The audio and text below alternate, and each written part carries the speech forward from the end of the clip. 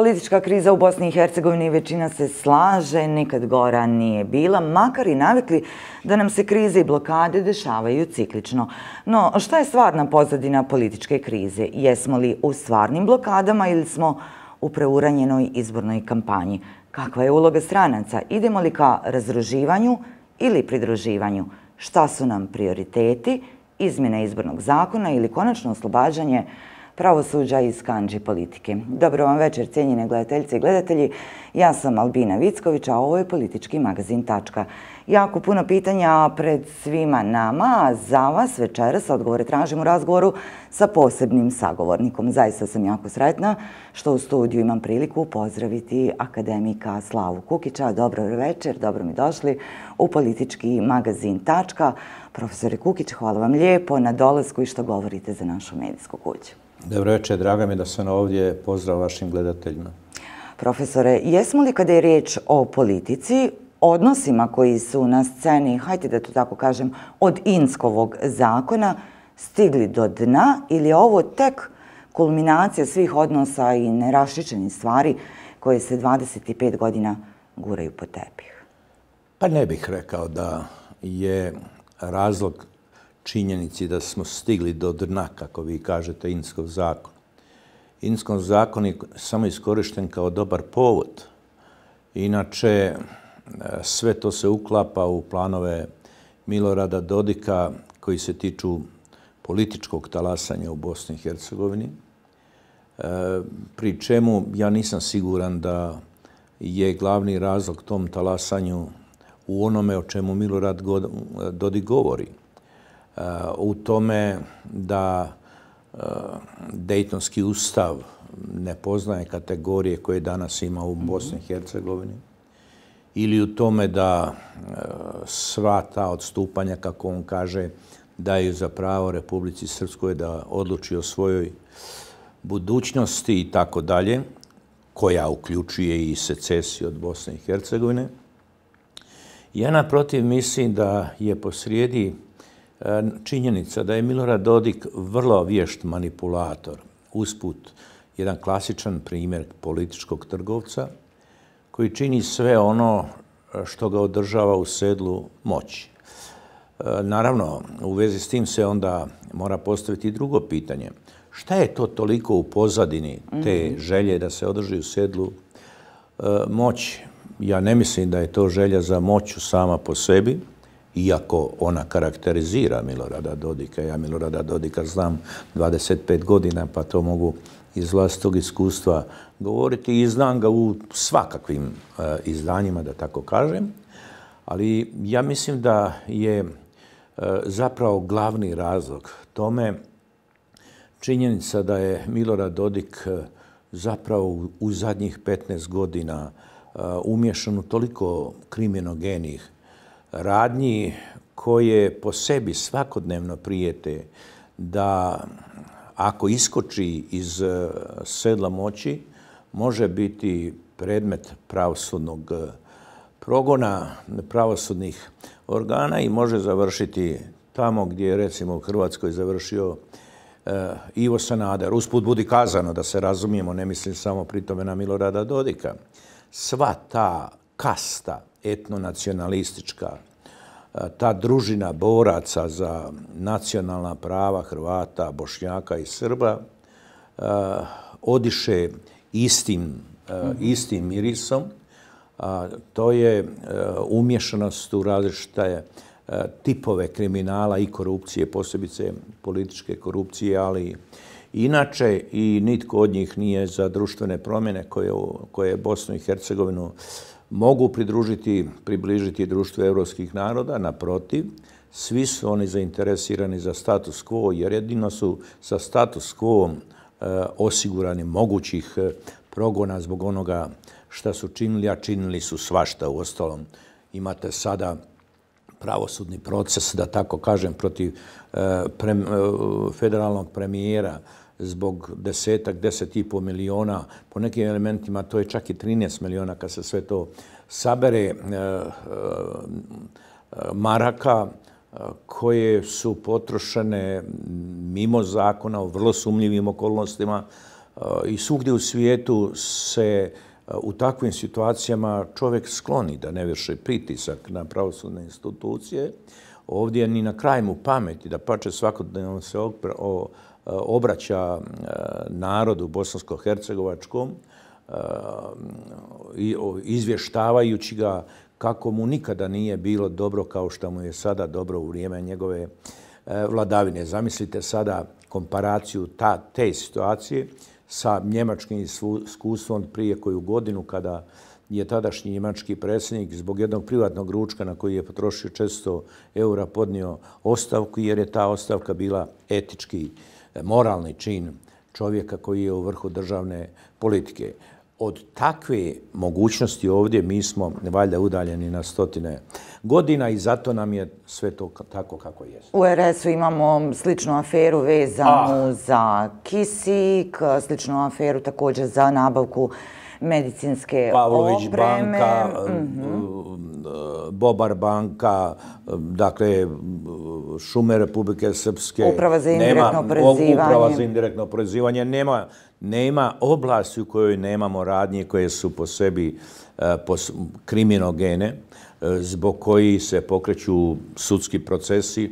Mnogi od tih procesa usput budu kazana, vidim u najavi emisije da će to biti predmet razgovora, se su zatrpani ispod e, tepiha, a to onda postavlja po sebi tjera na pitanje zašto, šta se radi sa, šta se događa sa pravosudnim E, institucijama i tako dalje. Iako sve ćemo da se ipak kao nešto privodi, kao nešto ispituje, tužilaštvo kao i pokreće postupke, ali čini se bezobrazno dugo čekamo na presude. Jedna od takvih je bila uh, i predmet i uh, situacija sa bivšim direktorom Uprave za indirektno oporezivanje. Uh, bezobrazno dug proces koji košta nas porezne obveznike. I ne samo to. Vi imate E, intervenciju e, visokog predstavnika u kazneni zakon, intervenciju koja se odnosi na kažnjivost negiranja ratnih zločinaca. Taj zakon stupio na, na snagu, niti jedno, jedan još od tih predmeta e, znamo za prijavu koju je e, e, uradio bivši načelnik Srebrenice prema jednom novinaru i to se sve trpa pod tepih, objašnjava se javnosti da je formiran predmet. E sad, šta to znači formiran predmet? To je naprosto bacanje prašne u oči, jer formiran predmet pa sebi ne zna. nešto radimo. Je, je, kao nešto radimo, a zapravo ne rade ništa. A i ikona nam stoji daleko od oči u javnosti. Um, čini mi se iz ovog vašeg uh, uh, stava da ste vi bliži onom tumačenju koji daju neki da ovo ipak nije politička kriza, nego preuranjena, nedozvoljena izborna kampanja? Pa, to što se tiče izborne kampanje, zapravo u zadnjih 7-8 godina Bosna i Hercegovina je stalno u izbornoj kampanji. E, mimo svih svjetskih običaja i normi, da tako kažem, jer tim stalnim političkim talasanjem e, etnonacionalističke e, političke kaste e, zapravo čine sve što je moguće kako bi preduprijedili moguće znake e, katarze bosansko-hercegovačkog e, društva, jer je katarza također po sebi za njih opasnost, počnu li ljudi razmišljati svojom glavom, počnu li sebi postav, bošnjaci postavljati pitanja, čekaj, šta smo mi uradili drugima? Je li ono nakazanu, nakazanima ratni zločin? I je li trebalo taj ratni zločin također dijelom trpati pod tepih kao što su ga trpali u gradskom vijeću i uključujući gradonačnicu Sarajeva? Počnu li Hrvati e, postavljati sebi pitanje šta je to što je radio Dario Kolić, Jadranko Prlić i Ini? Je li to herojstvo ili je zločin protiv čovječnosti? Počmu li Srbi i tako dalje? Ovi koji dominiraju Bosnu i Hercegovinu čine sve da se taj proces ne otvori i nažalost mi imamo 25 godina od rata. Ako sad povučete paralelu 45. pa 71. godine, Jugoslavija je i Bosna i Hercegovina 71. godine imala obnovljene puteve, željezničke pruge, napravljene tvornice, imala je e, gospodarski rast e, najveći na svijetu, veći od Japana, veći od, e, od Francuske. Šta imamo danas? I imali smo bratstvo i jedinstvo koji je danas u ono jeres, da tako kažem, spominjati. Nemoj to ni slučajno. E, imali smo e, ljude koji su e, gledali svoje susjede kao susjede, kao najbliže, bez obzira kako se Bogu mole, kako se zovu i tako dalje. Danas, 26 godina posle ovog rata, imamo ambijent koji puno više liči na 91. i 92. nego na 2020. 21. godinu. Prema tome, dakle, sve to je ambijent koji su proizvali ovi, usput budi kazano, ne treba to za, za prešutiti da, da tako kažem, nije nevin ni svijet za sve to što nam se događa.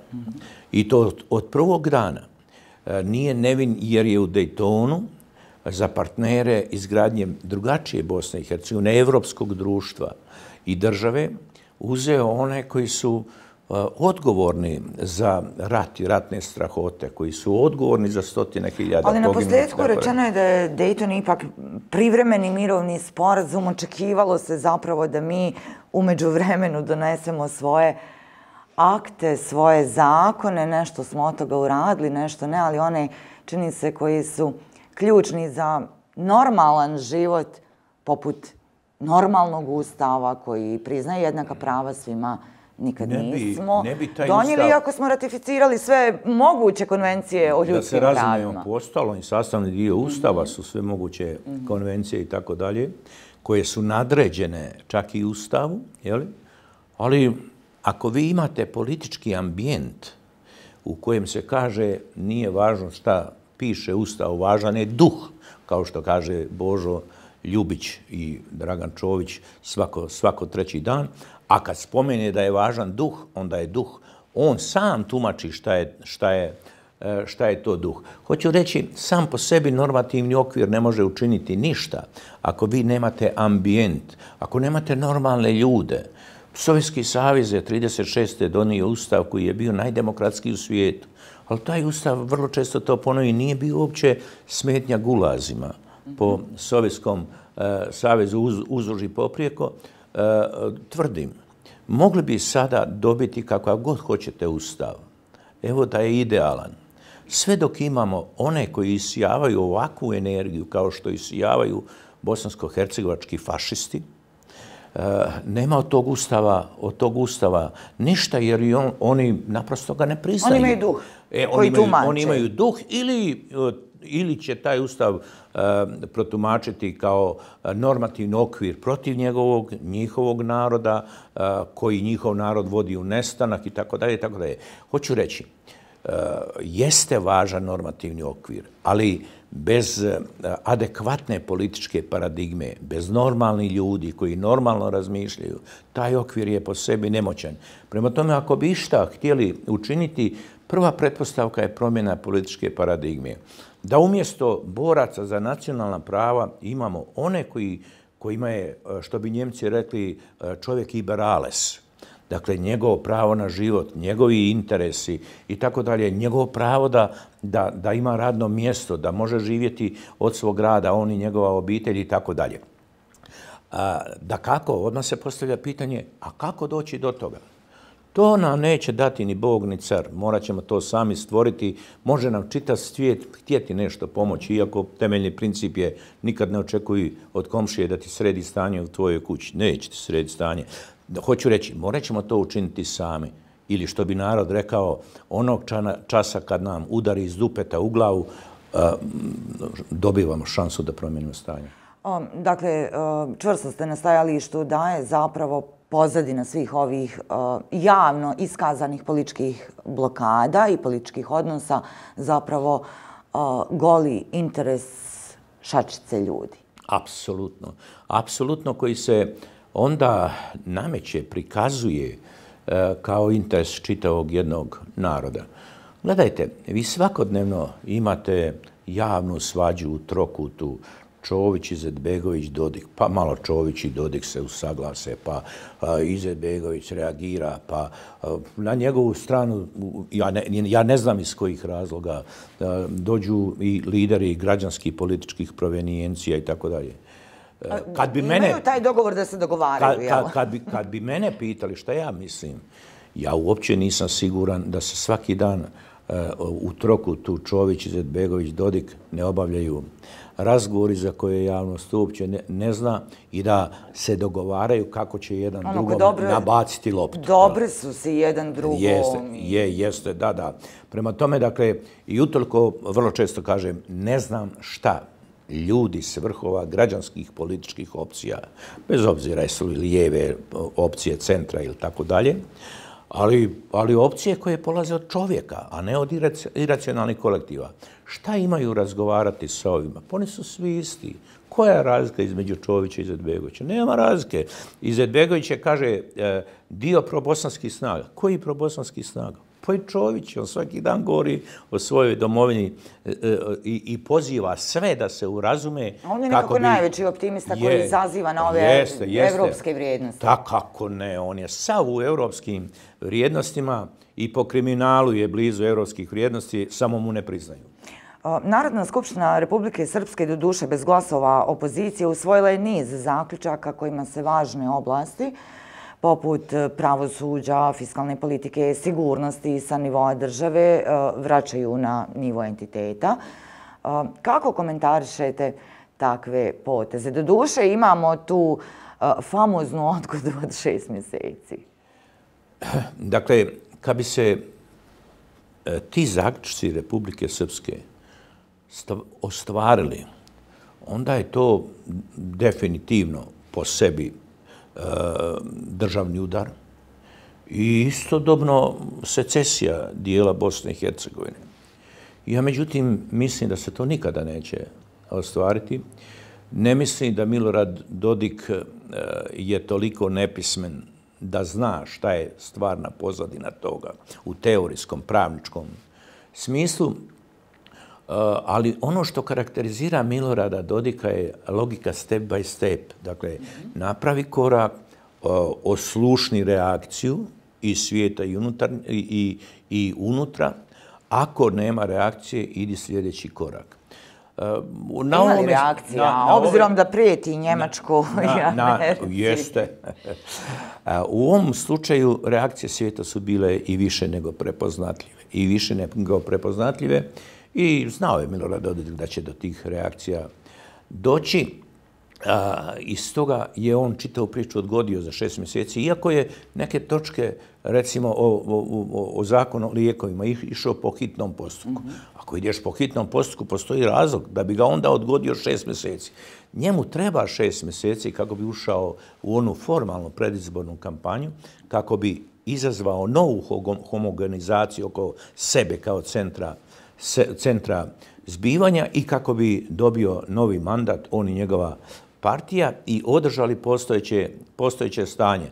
A onda će, nećemo biti to prvi put da, da uzmakne. Nešto je bilo, ali ništa se nije dogodilo, evo, promijen, promijenjeno se. Čuo se za stavove da zapravo oni imaju sve te zakone, da su oni postoje, ali prije pre, prenošenja nadležnosti sa entitetskog na državni nivo, ali evo da ovi šest mjeseci treba prosto da se uh, ništa to, finansijski Ništa to nije niti postojalo, niti se na bilo čemu od toga u ovom momentu radi. U, tome, u to sam apsolutno siguran.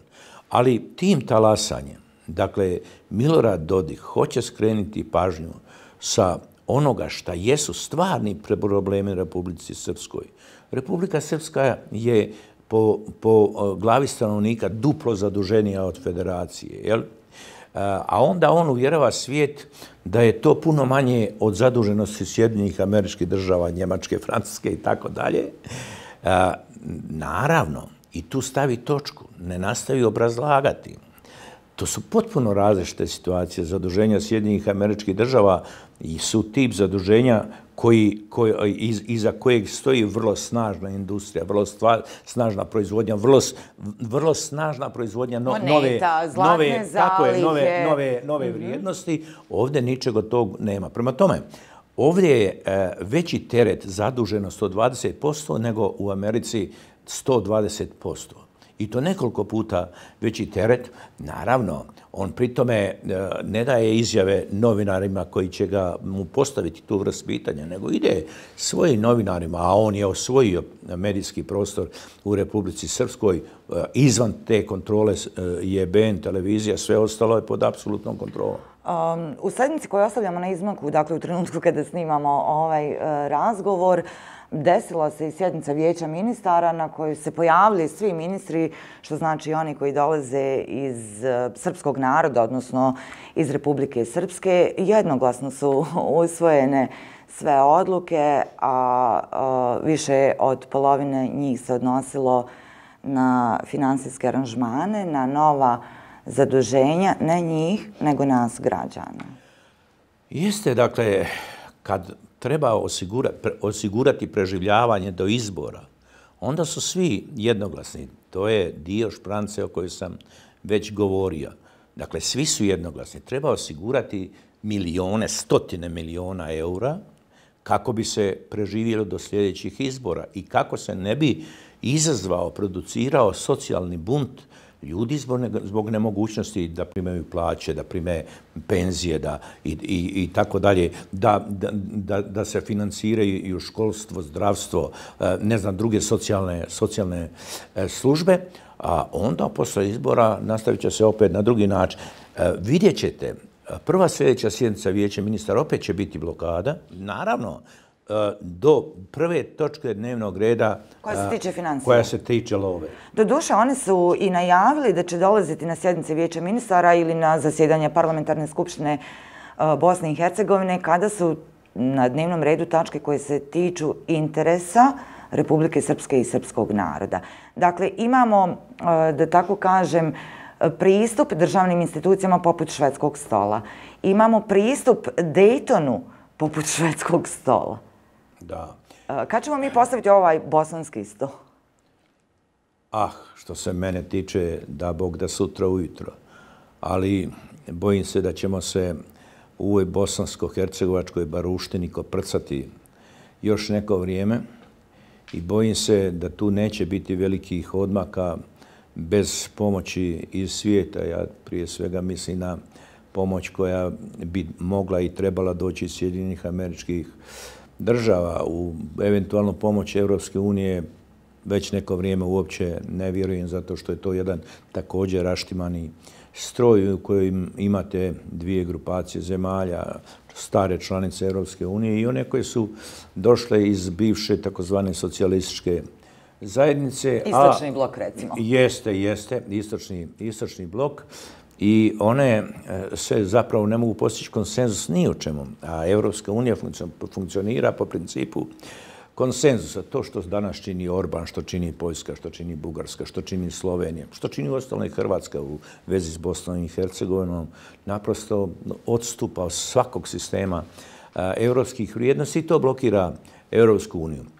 Ja međutim vjerujem da bi svoju, e, svoje akcije prema Bosni i Hercegovini e, mogle pojačati Sjedinjene američke države dolaskom Bajdena na čelo Sjedinjenih američkih država, jer radi se o čovjeku koji je ovdje bio u ratnim vremenima, koji je i nakon toga u sastavu demokratskih eh, eh, vlada u Sjedinje američkim državama eh, tu na licu mjesta se uvjeravao šta je to što se događa, koje nisu potrebni njegovi savjetnici mu da, da mu daju informaciju iz iz druge ruke, a koji po svemu sudeći je opredjeljen da pojača prisutnost Sjedinje američkih država ovdje. To do duše nije samo po sebi garancija da bi Sjedinje američke države mogle ovdje konstruktivno djelovati. Znate, ne dolazi Biden ovdje, nego dolazi Palmer, dolazi Escobar, dolazi neki, neki treći, a ti e, e, činovnici, e, profesionalci e, znaju učiniti i ono što ne valja kako bi e, ono što su učinili prodali svom šefu, predsjedniku, njegovim... Opravdali, naj, opravdali je, zapravo tako svoju je, tako poziciju. Tako je svoj, svoj angažman opravdali kako bi e, izazvali kod njega povjerenje i razmišljali o tome da ih treba unaprijediti na istaknutije funkcije. E, ja vjerujem da bi se takvom opredjeljenju Sjedinja američkih država, sve upućuje na to da će se to i dogoditi, moglo pridružiti i Ujedinjeno kraljevstvo, pa u ostalom angažiranje nje, njegovih jednog od najznačajnijih generala kao jeste mm -hmm. kao čovjeka koji koji je zazvužen za Bosnu i Hercegovinu, na, na to upozorava i njegove izjave, pa u ostalom izjave na, na Domu Lordova, diskusije na Domu Mjesec Lordova... Mjesec dana, čak dva jeste, puta. Jeste, jeste.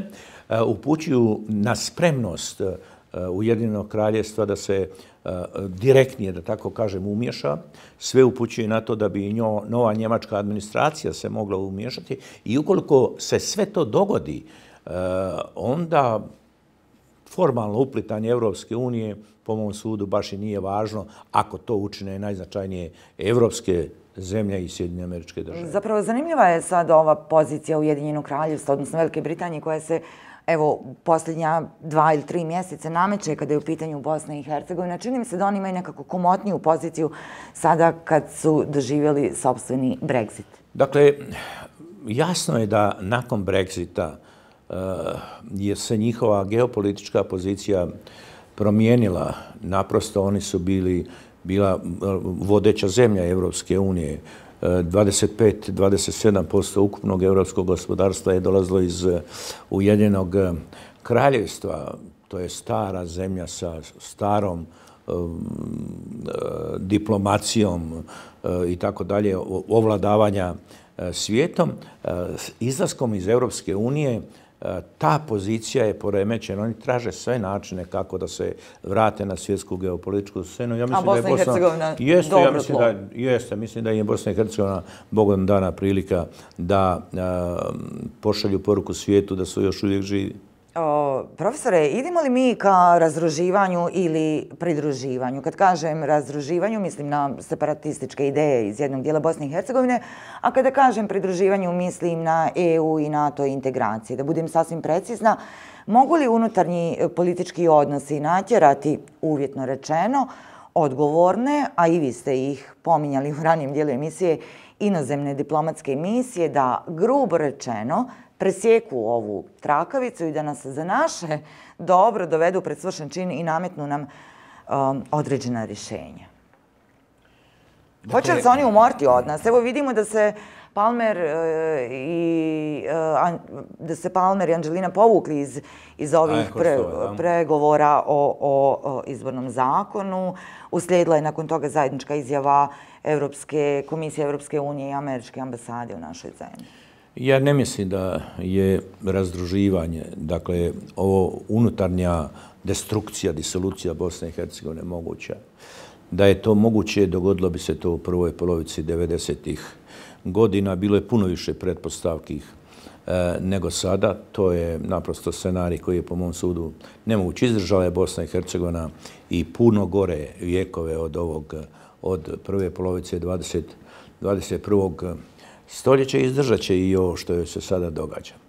E, sada, s druge strane, što se tiče e, pokušaja svijeta da Bosnu i Hercegovinu učini društvo evropskih naroda, e, moram priznati da vrlo često razmišlja na tu temu i da mi vrlo često, da mi u pravilu nije jasno zašto Evropska unija, da tako kažem, nema agresivni nastup, ne samo prema Bosni i Hercegovini, nego uopće prema zaostalim zemljama bivše no, Jugoslavije. Sličnu situaciju sa Sjevernom Makedonijom, sa Albanijom, pitanje da, da. Srbije i Kosova, Crna dakle, Gora. Gledajte, gledajte. E, početkom 2000. godina Evropska unija i NATO primili su Rumuniju i Bugarsku. Oni po a, svom tadašnjem stanju, svim oblastima života, bili su na razini ili još lošiji od današnje Bosne i Hercegovine. A čini se da i sad probleme koje imaju nisu ništa bolji. Apsolutno, apsolutno. Ali su primljeni. Zašto? Zato što je NATO imao plan geopolitičkog zaokruživanja prostora do Crnog mora, kako bi, da tako kažem, u četiri zida ostavio, ostavio Rusiju i učinio je područjem koje, koje ona, on sam kontrolira. Eh, ovo sada što se događa, događaju se čuda na koje niti NATO, niti Evropska unija ne reagiraju. promijenili se odnos snaga na svjetskoj geopolitičkoj mapi. Rusija se vratila iz mrtvih i, i, i naravno sve agresivnije ide i što se tiče Ukrajine i što se tiče Kazakstana i što se tiče Gruzije, ali i što se tiče jugoistoka Evrope jer hoće taj dio imati pod svojom kontrolom, hoće izići na Jadransko more i preko njega na topla, topla mora, e, a dojam je kako mu i NATO, kako joj i NATO i Evropska unija to ono dopuštaju, e, sve nadajući se da se ništa od toga neće, neće dogoditi. Hoću reći, e, na mjestu ljudi u briselskoj administraciji ja bih postupio isto kao što se postupilo u slučaju Rumunije i Bugarske, apsorbirao bi sve te zaostale zemlje bivše Jugoslavije, na taj način i doveo pod, pod kontrolu briselske administracije, a onda u svom sastavu naknadno intervenirao... Je li realno oni... takav scenarij očekivati? Dakle, takav scenarij je politički koristan. Ne, neće oni njega uraditi zbog ljubavi prema nama, nego zbog svojih geopolitičkih interesa. Jer znamo za onih 14 Jeste. uvjeta koje bi trebali ispuniti ukoliko Jeste. želimo otvoriti... Da, da, s tim uvjetima možete koliko hoćete. Gledajte, ali, e, ali, Ma, e, to što je učinjeno Makedoniji, pa to je naprosto e, nešto što apsolutno među građanima ovih prostora, postjugoslavenski, radikalno obara povjerenje u, u Evropsku uniju. Ako vi natjerate zemlju da promijeni svoje ime, da bi e, privoljala Grčku da joj ne stoji na putu, ako e, obećate da, da ćete otvoriti proces pregovora, a onda taj proces pregovora ne, ne otvarate i dajete do znanja da on u sljedeći 5-6 godina uopće na dnevnom redu. Ako nakon toga uz sve to dopustite jednoj Bugarskoj da ona Ali kao članica Europske unije... Ali Makedonija i Crna Gora su dijelovi NATO saveza. Jesu, jesu dijelovi NATO saveza, ali to uopće ništa ne koči Bugarsku da a, svoje nacionalističke apetite ispoljava i da kaže, slušajte, a, nećemo dati da ukoliko se ne odreknete svog jezika i ne priznate da je to bugarski, bugarski jezik. To je priča koju možete čuti svakodnevno i u Poljskoj i u, i, i, i, i, i, i u Mađarskoj. To je priča koju evo, slušate u, u Hrvatskoj koji hoće svakodnevno biti tutori u Bosni i Hercegovini, a sve s obrazloženjem... A s druge strane, Evropska unija upravo u članici uh, Evropske unije, Hrvatskoj, koja potiče dakle s ovog jugoistoka, Evrope, Zapadnog Balkana, bivša država Jugoslavije, e, vrlo je aktivna u, u kontroli provođenja evropskih zakona i vladavine prava, iako su ih primili u evropsku državu, pa evo imamo ih vrlo aktivnu ulogu e, evropskog uskoka na tlu e, Hrvatske republike. Apsolutno. Apsolutno. Ako vi hoćete postati dio šengenskog prostora, onda morate ispuniti nekakve pretpostavke. Jel? Naravno da Hrvatska je sastavni dio e, bivše Jugoslavije, tu je e, isti mentalni kod i tako dalje, i da taj evropski uskok, dakle, evropske pravosudne i, i, i, e, goniteljske institucije ne interveniraju, pitanje je da li bi u svim slučajevima Hrvatski uskok intervenirao ili bi postupao na način kao što to postupa tužiteljstvo Bosne i Hercegovine da neke predmete da gurne, gur, gurne da, da, da neke predmete gurne na tepih, pod tepih, koji su jako važni za državu i društvo, a druge koji su bile relevantni izbaci na površinu. Vi sada imate, evo juče sam pročitao eh, kantonalni sud Zeničko-Dobojskog kantona, tužiteljstvo eh, i, i sud potvrdili su optužnicu, ne znam, protiv ljudi na Zeničkom univerzitetu, među inim eh, i u vezi sa sadašnjim prorektorom Zeničkog univerziteta, Ilhanom Bušatlićem, koji je Eh, kao predsjednik Senata univerziteta potpisao odluku koju je Senat donio. A šta bi on drugo mogao nego potpisati odluku? Mogao je protiv nje glasati. Ali ako je odluka usvojena većinom, ti je kao predsjednik moraš usvojiti. Hoću reći, eh, to, to, je, to je naprosto u, u evropskom pravnom sustavu nešto što je nemoguće zamisliti. Ali tamo gdje nemaš tog evropskog sistema vrijednosti. Sve Gdje nema moguće. pravne države, gdje pravosuđe služi za političke okršaje, događa se ovo što se događa u Bosni i Hercegovini, ali i ono što se događa u Srbiji i u Hrvatskoj i tako dalje. Dajte da vas još e, kratko zadržim na ovim međunarodnim odnosima kada je Bosna i Hercegovina u pitanju. Koliko nam je važan ovaj moment i iskazani međunarodni interes? Važan je, naravno da je važan, jer bez obzira što ja mislim o tome, ja želim misliti dobro, jel, iako puno puta me je ta, ta, su me te dobre želje opekle u zadnjih 25 godina, pa se naknadno razočaram, ali važan je prvo zbog e, unutarnjih igrača, koji čine sve da nastave političko talasanje, mora Milorad Dodik do, o, o, razmišljati onome što mu je poručeno iz, iz Berlina ili iz Londona. Mora. Može, može prodavati maglu kome hoće. E, moraju i svi ostali razmišljati o tome. Može pričati priču, ali istina je da Evropsko vijeće je e, ponovo nije usvojilo ovaj e, zahtjev Hrvatske da se tamo u zaključke vijeća unesu odredbe o konstitutivnim narodima. I vidimo da je tako, njihov predsjednik Milanović burno reagovao pa jeste, i uputio jeste. dopis e, dakle, Plenkoviću vezano za te dakle, zaključke. istina je naprosto da, da je to znak da taj sistem vrijednosti ne prolazi. To se ovdje događa, dakle.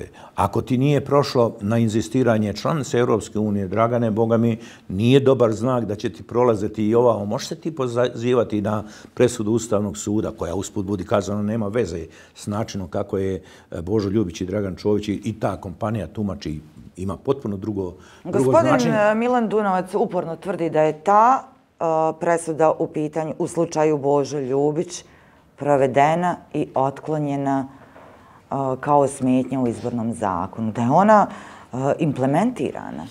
He, ne, nije implementirana. Ona je u jednom momentu implementirana. A, istina je da je za nju potrebna intervencija ne ustav, nego u izborni zakon. Mm -hmm.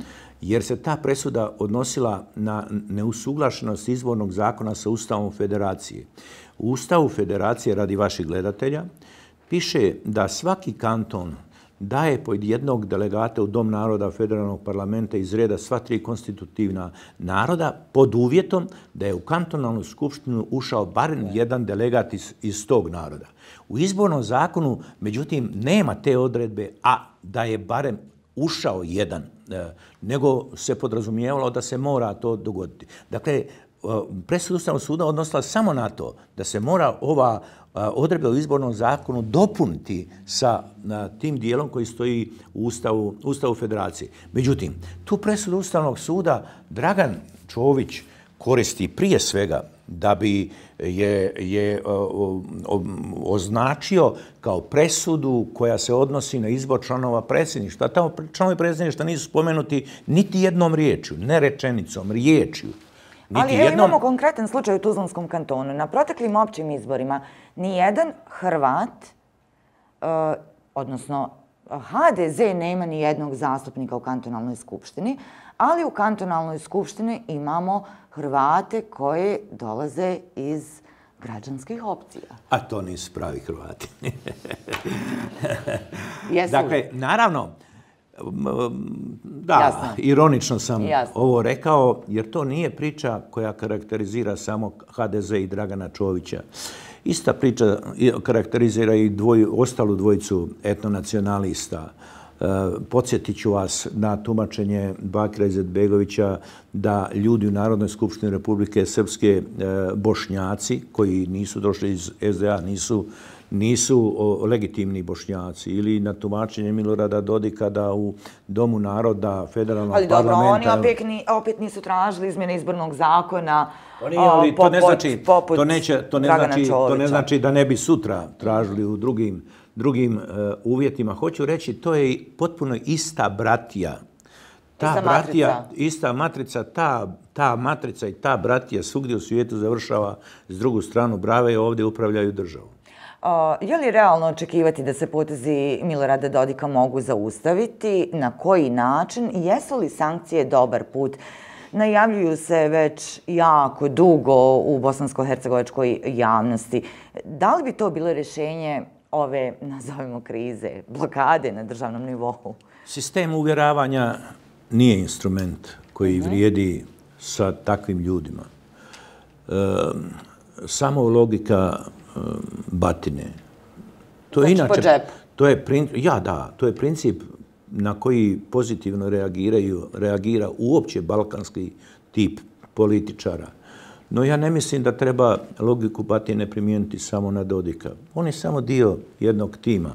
Prema tome, ako bi se logika batine sankcije e, primijenile samo na Dodika i njegov e, politički krug, njegovih najbližih suradnika, onda bi se to moglo e, vratiti, bojim se, i u, u, formi bumeranga. Mm ako bude svijet se opredeljivao za to, a ja navijam da se opredijeli i to da budu vrlo snažne sankcije, onda one moraju zahvatiti e, Jednaki sve, prema svima. Jeste sve etnonacionalističke kabadahije s jedne strane, ali ne samo njih nego mora zahvatiti i sve gospodarske subjekte koji su finansijska i druga logistika tih etnonacionalističkih Oni koji finansiraju izbore, jel? Tako je i budite sigurni, onog časa kad jedna jaka privatna kompanija izgubi mogućnost da uvozi i izvozi iz eh, zemalja Europske unije, a najveći dio uvoza i izvoza Bosne i Hercegovine i svih njezinih sastavnica je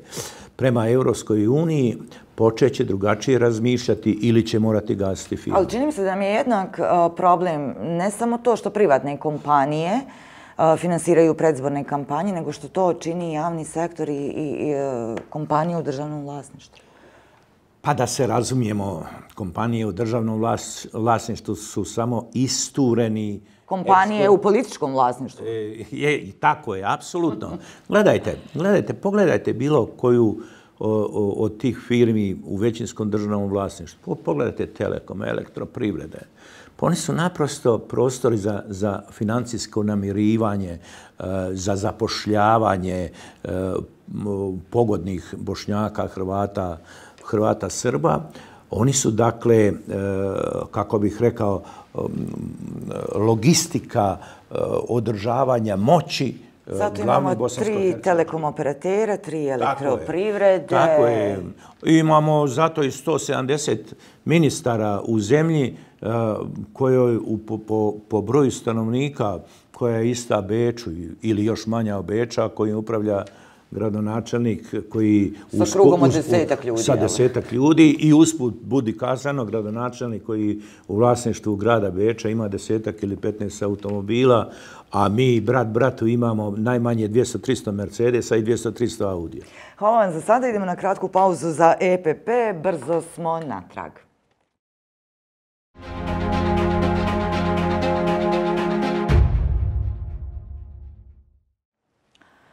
U studiju smo političkog magazina Tačka. Za sve vas koji ste nam se tek pridružili o aktualnim političkim momentima i odnosima razgovaramo sa akademikom Slavom Kukićem.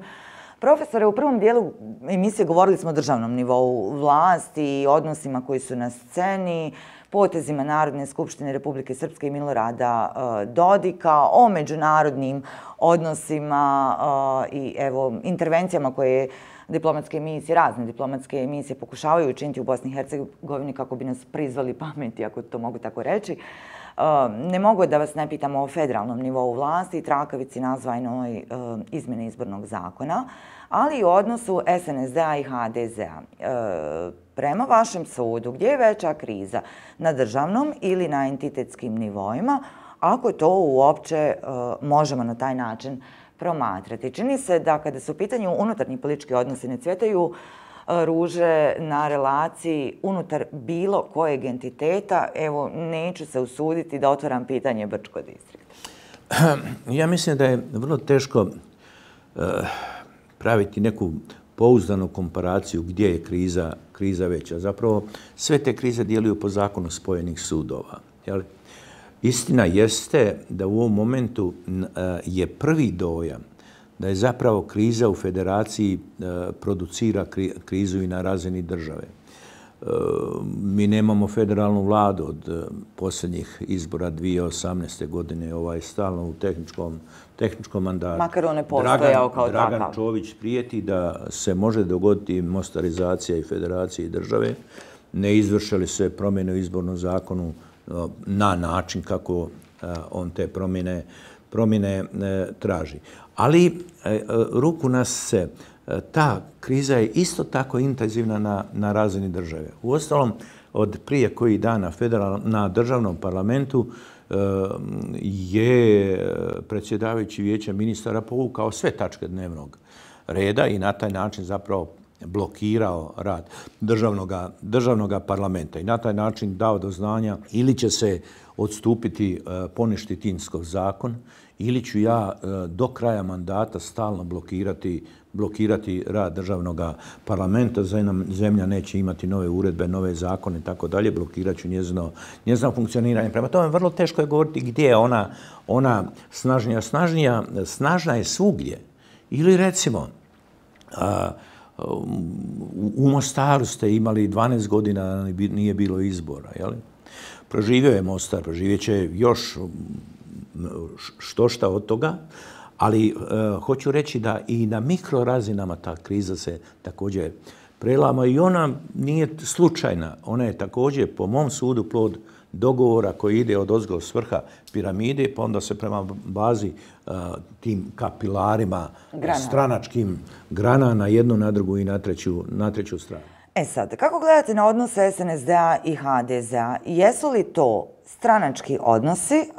Pričali smo u prvom dijelu emisije da je da vam se više čini da je to riječ o interesnim relacijama između Milorada Dodika i Dragana Čovića. Ali imali smo situaciju da su pitanje vitalnog nacionalnog interesa u Narodnoj skupštini Republike Srpske oko zakona o lijekovima, odnosno Agenciji za lijekove, e, podržali i klub Hrvata i klub e, Bošnjaka. S druge strane, u državnom parlamentu imali smo situaciju da je klub Hrvata e, opet bio protiv izmjena krivičnog zakona, odnosno razmatranje te tačke, pa se nakon toga, nakon reakcije iz Hrvatske, Dragan Čović ispričavao javnosti. Je li mi ovdje govorimo e, da su čitave političke opcije taoci relacija e, dvije osobe, njihovih interesa ili je to stvarno e, dio njihove političke agende? Nema veze to s političkom agendom, doista.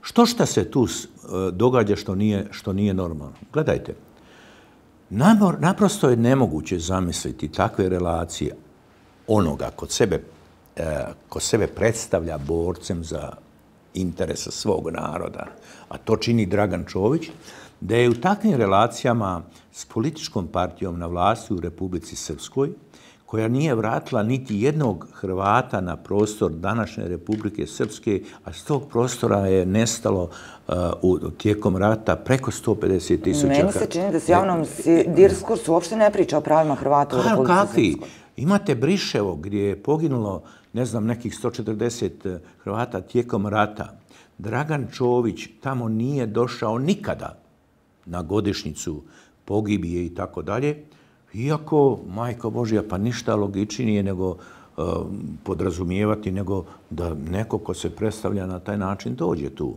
U ostalom, eto, ne predstavlja se Željko Komš ovaj, na način kako se predstavlja Dragan Čović, pa dođe u, u o, kako se kaže, ovo uz neretvu, jeli, da oda, da oda poštu ljudima koji su poginuli od, ne znam, nekih pripadnika armije Republike Bosne, Bosne i Hercegovine. Ali ga optužuju da nikad ne dolazi u kantone ili županije sa većinskim hrvatskim stanovnikom. Zato ga i ja optužujem. Uh -huh. Pa to je tvoja zemlja.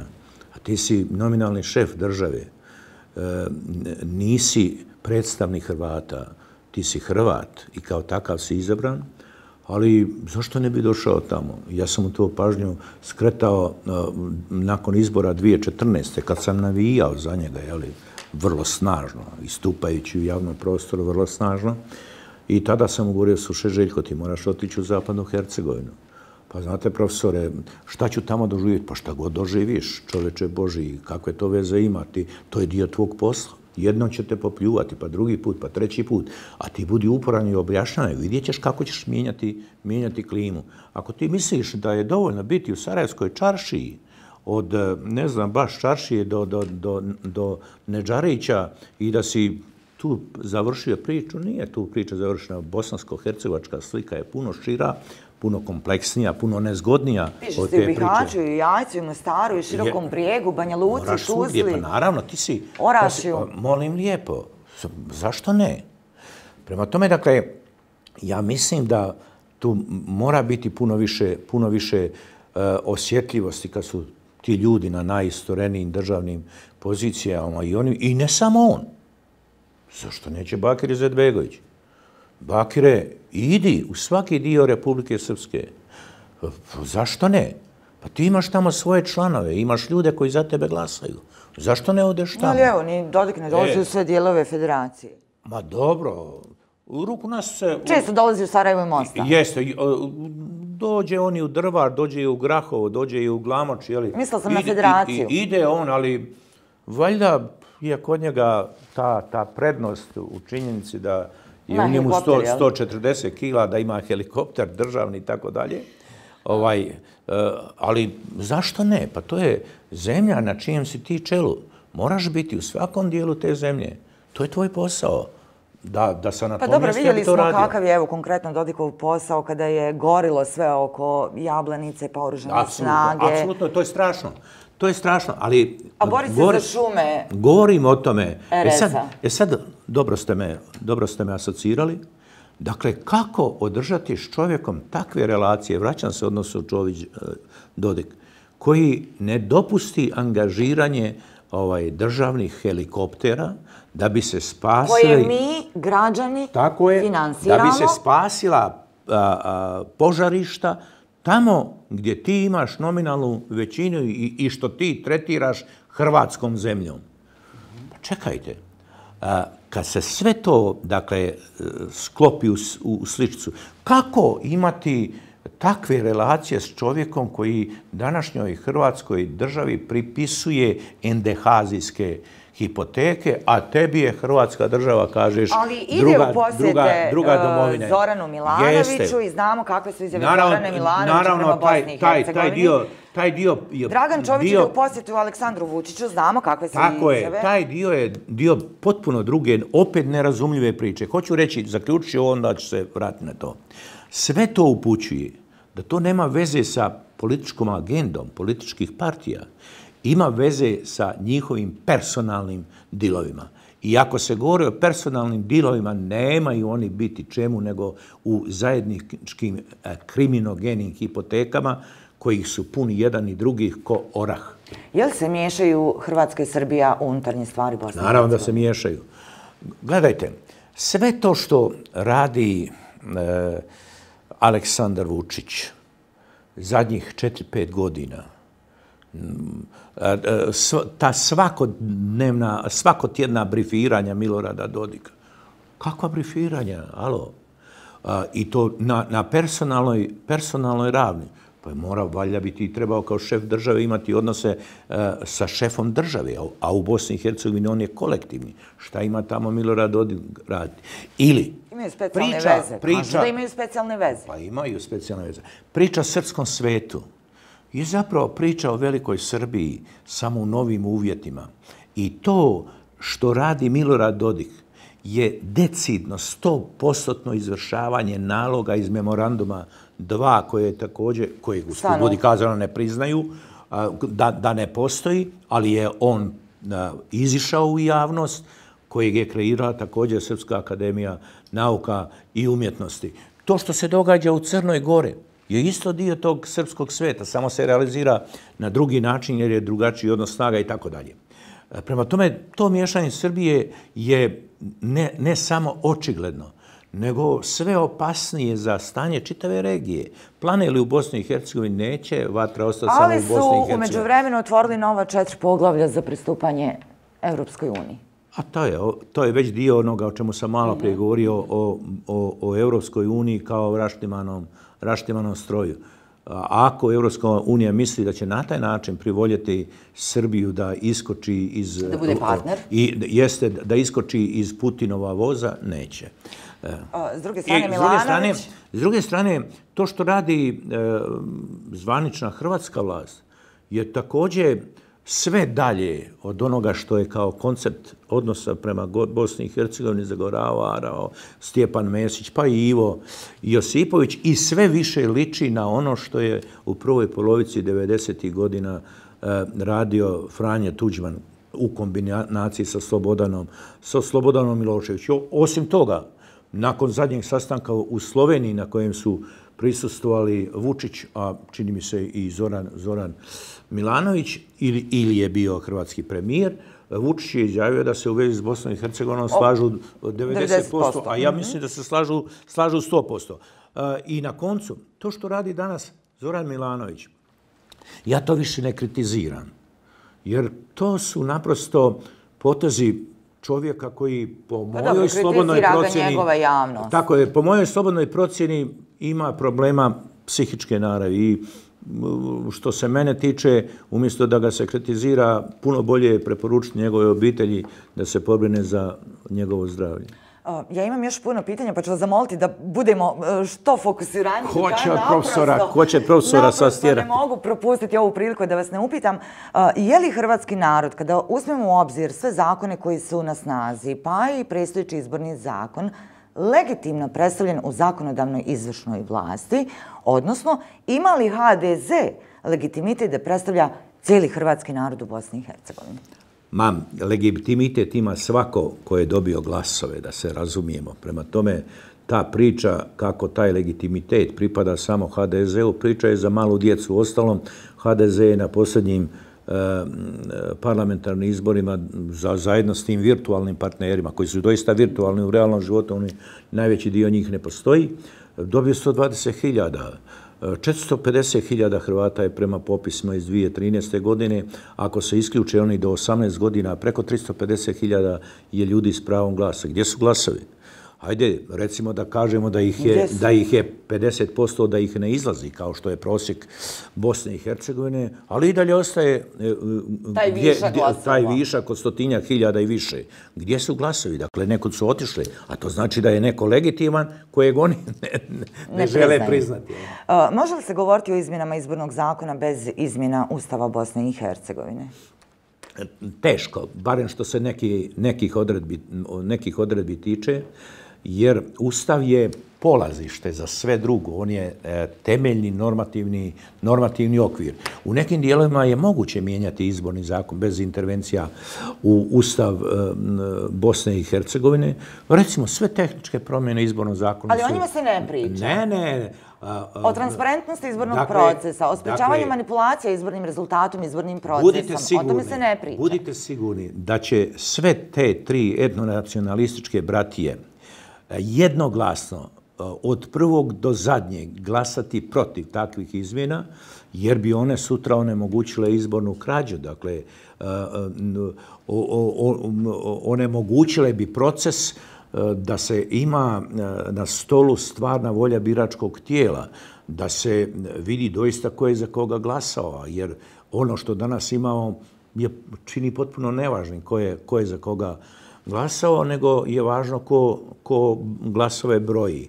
A glasove broje njihovi, one koji su oni zaposlili u jav, državnoj upravi, u javnim kad, poduzećima, u agencijama i tako dalje. A kada izlazimo na izbore, ne identifikuju nas iz kojeg smo naroda, nego nas identifikuju imenom i prezimenom. Pa eto, ako je suditi prema ovome što traži Dragan Čović, e, ja bi se trebao pripremati na sljedeće izbore, e, parlamentarne izbore, kao što su Njemci pripremali židove 40. godina da, sa bijelim ili žutim trakama pa da me se prepoznaje. Drago mi da ste spomenuli ovo što zagovara Dragan Čović.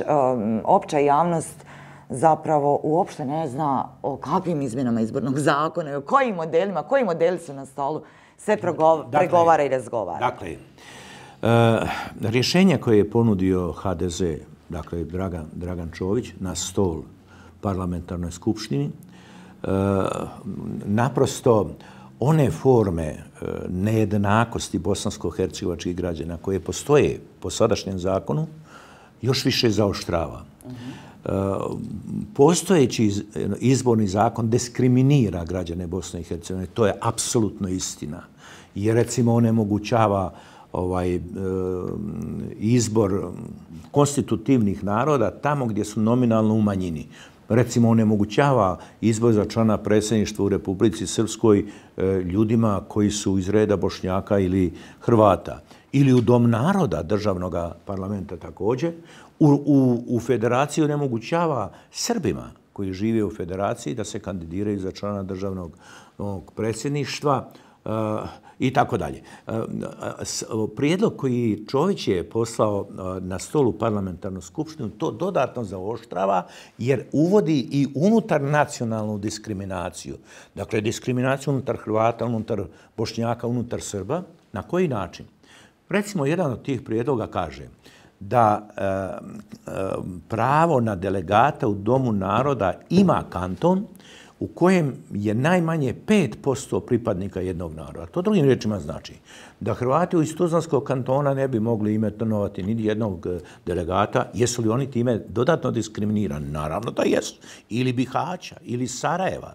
Čak možda i ako više Hrvata, obzirom da je Tuzlanski kanton najmnogo ljudi dakle, živi u Tuzlanskom kantonu nego u nekom sa naravno, hrvatskom većinom nemate 5%, Nemate 5%. To je jedna dimenzija. Druga dimenzija.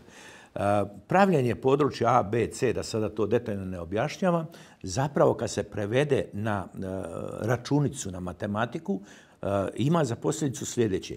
Ako nemaš većinu od stoca do livna, e, ne možeš imati člana predsjedništva iz reda Hrvata, taman da izvan, izvan tog prostora imaš 100.000 više glasova, hrvatskih glasova, nego što si dobio u stolca Dolivina. To je naprosto jedan, jedan nonsens koji uvodi unutar nacionalnu diskriminaciju i generalno diskriminaciju iz pozicije građanskih i ljudskih prava, ali to ne zanima Dragana Čovića. Ali čak i ona je... priča da bi to bile virtualne izborne jedinice samo na dan izbora i tako dalje i tako Nema dalje. to veze. Dakle, priča virtualnim izbornim jedinicama je također priča za malu djecu. Onog časa kad ta virtualna izborna jedinica zaživi, ona naprosto postaje jezgro, da tako kažem, e, realnog trećeg entiteta i po sebi dodatno će u sljedeći 5, 10, 15 godina destruirati Bosnu i Hercegovinu. Iz velikog broja političkih stranaka, iz, iz kako se deklariraju probosanskog bloka, kažu da se HDZ služi ultimatumima i ucijenama, da su izmjene izbornog zakona, kako oni zagovaraju, uvod u formiranje trećeg entiteta i da NATO neće nikada uh, pristati. Uh, kratko vaš komentar na ovo. Ja prvo ne znam šta znači taj probosanski blok. Dakle, ako je ima tog bloka, onda bi on trebao biti probosansko-hercegovački blok. To je jedna dimenzija. Druga dimenzija, ja ne znam šta u probosansko-hercegovačkom bloku bi imala rad, čin, raditi partija poput, poput SDA, koja je dio bos, probosansko-hercegovačkog nacionalističkog bloka, a ne probosansko-hercegovačkog bloka bloka, jer Ali po istom... Ali za sebe kaže da su partija centra, da su evo, ovaj, promijenili su neke stvari u svom statutu i u svojim deklaracijama. Pa i Milorad Dodi kaže za sebe da je, da je nezavisni socijaldemokrata i to piše i u, i u programu i u statutu mm -hmm. Saveza e, nezavisnih socijaldemokrata. Prema tome, šta ti kažeš o sebe, potpuno je nevažno. Važno je ono šta stvarno jesi a temelje onoga što činiš svaki dan, vrlo zorno se vidi šta jesi. Profesore, hoće li biti izbora 2022. godine vaš stav, obzirom da i za ovaj proces, ako zakon ostane isti, najavljen bojkot opet iz SNSD-a i HDZ-a, makar SNSD ranije govorio da je njima sve ok, šta god se dogovore partneri u federaciji. E, s druge strane, predsjednik Cika Bakalar je rekao da će izbori u maju biti raspisani. E, šta nam je u ovom momentu potrebnije? Reforma izbornog zakona ili konačno valjena reforma pravosuđa?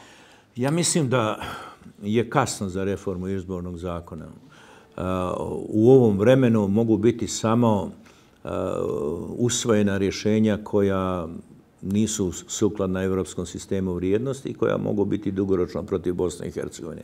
Dakle, treba sve pripreme izvršiti za provedbu E, E, parlamentarnih izbora, a onda nakon njih sjesti e, temeljito e, pod pretpostavkom da, da sjednu norm, normalni ljudi, pa izvršiti intervencije i ustav i izborni zakon koji su kočnice Bosne, Bosne i Hercegovine na njezinu evropskom putu. To je jedna dimenzija. Druga, što se tiče ovih najava o bojkotu izbora, budite bez brige, niko neće bojkotirati izbore.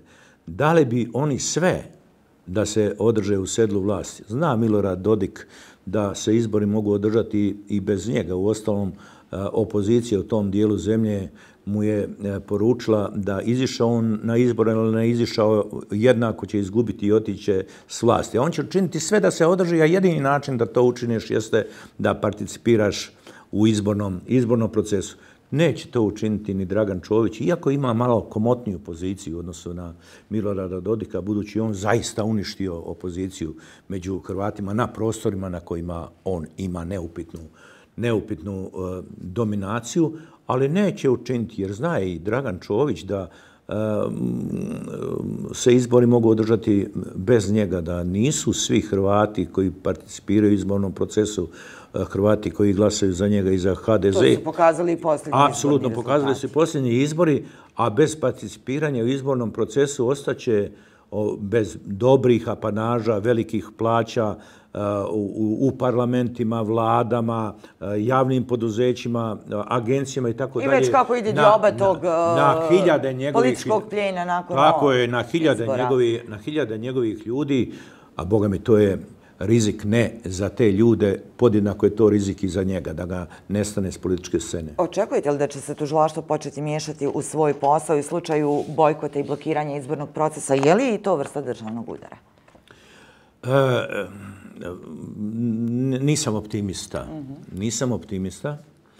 U ostalom, ja ne znam šta, po čemu je stanje u tužiteljstvu Bosne i Hercegovine, a i na nižim razinama, da se razumije, to ide na isti način e, drugačije danas nego što je bilo prije pola godine e, kada je smijenjena gospođa Tadića doveden novi, kako se, kako se već zove, da pače po svim informacijama pa koje... Dobro, imamo te promjene u STV-u, imamo promjene uh, u tužilaštvu. Evo, Sipa nešto intenzivnije radi zadnjih dana. Bar se taj dojam stiče, obzirom da skoro dnevno dva saopćenja za javnost dostavljaju. Ništa, ništa se ne događa, jer sve, sve to što Sipa radi, ufati ovog malog miša, ufati onog malog miša, velike, velike ribe i dalje normal, normalno hodaju i poprilično su sigurne. Na, Uhvatili onog muljevitog dna se, jeli pa? Tako je, prema tome, to je zapravo zavaravanje javnosti, pokušaj izazivanja percepcije, ali u stvarnosti se ne događa ništa specijalno i kako stvari stoje, neće se ni događati. Sada imate na vrhu tužiteljske piramide umjesto Čovićevog imate Dodikovog čovjeka. E, da je to tako pokazuje Milan Tegeltija onog časa kad je otišao iz Visokog sudbenog tužiteljskog vijeća, postao njegov savjetnik i to što danas govori to pas s masom pojeo ne bi toga pokazuje naprosto kao ono ogoljelog četnika, a ne kao čovjeka koji se bori ajde za interese srpskog naroda. A prava i pravednost? A. Jesu to strani pojmovi? E, on, kako stvari stoje, on s tim pojmovima nikada nije bio u dobrim odnosima. E, iako je po vokaciji pravnik pa pokušava se prikazivati vrsnim pravnim stručnjakom, izgleda da je to najlošiji dio terena na kojem se snalazi. Ne mogu da vas ne upitam, imamo li alternativu odnosno, u odnosu na ovo što je sad na vlasti, obzirom da nam se 2022. valjda održavaju izbori. Jeste li vidjeli informaciju da je Martin Raguz najavio povratak u politiku? Može li postojeća opozicija biti alternativa? Kad kažem postojeća opozicija, jednako mislim na sve političke opcije koje egzistiraju kao opozicione, makar i one imale odgovornost za ovo stanje u državi i u RS-u i u Federaciji Bosne i Hercegovine. Ja sam dosta dugo govorio o tome kako zapravo u Bosni i Hercegovini nema 150 političkih partija kao što je statistika kojom se barata, da su naprosto u pitanju dvije političke partije. Jednu čine svi nacionalisti koji imaju zajednički cilj da rasturaju Bosnu i Hercegovini i kao državu i kao društvo. Drugu čine svi ostali. Pri čemu sam uh, dodavao da to drugim riječima znači da ti svi ostali se moraju udružiti u front građanskog otpora nacionali, bosansko-hercegovačkim nacionalizmima. E, moram priznati da sam u tom dijelu malo evoluirao i danas ne govore o frontu građanskog otpora, e, neće ići sa frontom građanskog otpora. E, nama je potreban front sve narodnog otpora onima koji su personifikacija zla u zadnjih 15-20 godina, to su SNSD, HDZ i SDA. To drugim riječima znači da građanske političke partije, partije Ljevice, SDP prije svega kao najsnažnija partija političke Ljevice, ne smije zazirati od toga da u tom frontu budu i stranke sa nacionalnim prefiksom, nacionalne političke partije koje prihvaćaju Bosnu i Hercegovinu, jer je jedino na taj način s najširim narodnim okupljanjem moguće ove pomiriti pomesti, da tako kažem, iz političke arene, a onda pitanja ideologije ostaviti za sutra kad se osiguraju pretpostavke egzistencije Bosne i Hercegovine kao države, kao države i kao društva. Ako bi do toga došlo, onda mi objektivno imamo mogućnost e, društvenih promjena, eh, a ne dođe li do toga, bojim se da nam je ta mogućnost još uvijek vrlo mršava. Profesore Kukić, hvala vam lijepo što ste govorili za politički magazin Tačka. Vjerujem da ćemo u periodu u koji nam predstavite kako imati još prilika i povode za razgovor. Hvala vam na pozivu. Još je da pozdrav vašim gledateljima. Hvala vama. Cijenjeni gledatelji, zahvalnost upućujem i vama što ste ovaj utrak večer proveli uz još jedno izdanje političkog magazina Tačka. Naravno, vašoj pažnji preporučujem nastavak naših programskih sadržaja. Mi se vidimo za sedam dana. Lijep pozdrav!